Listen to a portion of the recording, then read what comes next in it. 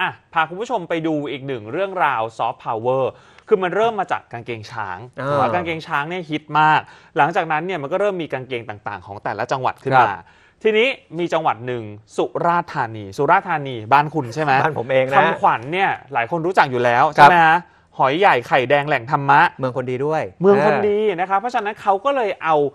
สิ่งที่เป็นไฮไลท์ของจังหวัดเขาเนี่ยนะมาทำเป็นลายกางเกงโอ้โหอ่าก็เลยชื่อว่ากางเกงเมืองคนดีอยากนะคเห็รันบซะแล้วนะฮะอ่าซึ่งวันนี้เนี่ยนะครับทางด้านโรงพยาบาลสุราษฎร์ธานีเนี่ยเขารับมอบกางเกงเมืองคนดีเนี่ย500 ตัวนะครับมาจากเอกชนก็คือบริษัทบ้านสวยกรุ๊ปสุราษฎร์ธานีจำกัดมหาชน เพื่อที่ว่าจะได้เอากางเกงเนี้ยไปมอบให้กับคนที่มาบริจาคให้โรงพยาบาลคครัรับบ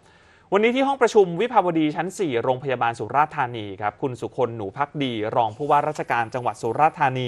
มาเป็นประธานในการมอบกางเกงเมืองคนดี โดยมีคุณพิระยะธานีนรานนท์ประธานเจ้าหน้าที่บริหารบริษัทบ้านสวยกรุ๊ปสุราษฎร์ธานีนะครับแล้วก็คุณหมอปานิธานสื่อมโนธรรม ผู้อำนวยการโรงพยาบาลสุราษฎร์ธานี และเจ้าหน้าที่ผู้เกี่ยวข้องเข้าร่วมงาน บริษัทบ้านสวยกรุ๊ปเนี่ยเขามอบกางเกงเมืองคนดี 500 ตัวให้กับโรงพยาบาลสุราษฎร์ธานี เพื่อที่โรงพยาบาลเนี่ยจะได้มอบกางเกงสวยๆเนี้ยให้กับผู้มีจิตศรัทธาที่มาบริจาคให้กับโรงพยาบาล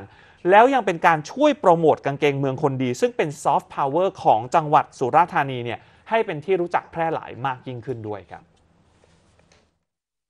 มอบกางเกงจัดทำเป็นชุด Limited Edition มอบให้กับโรงพยาบาลสุราษฎร์ธานี เพื่อที่ทางโรงพยาบาลสุราษฎร์ธานีอะจะนำไปมอบให้กับผู้ที่สนับสนุน หรืออีกกิจกรรมอะไรต่างๆ กับทางเอ่อโรงพยาบาลสุราษฎร์ธานีนะครับ ถ้าเราจะมอบเอ่อกางเกงเมืองคนดีเนี่ยให้เป็นของที่ระลึกกับผู้บริจาคให้โรงพยาบาลสุราษฎร์ธานีแล้วได้บริจาคก็ยังได้ของที่ระลึกไปนะให้ระลึกถึงว่าได้บริจาคให้กับโรงพยาบาลสุราษฎร์ธานีครับและกิจกรรมที่ท่านเข้าร่วม เป็นสิ่งที่ดีคืนประโยชน์คืนกำไรให้สังคมและเป็นสิ่งที่ดีงามทำบุญเป็นด้วยในตัว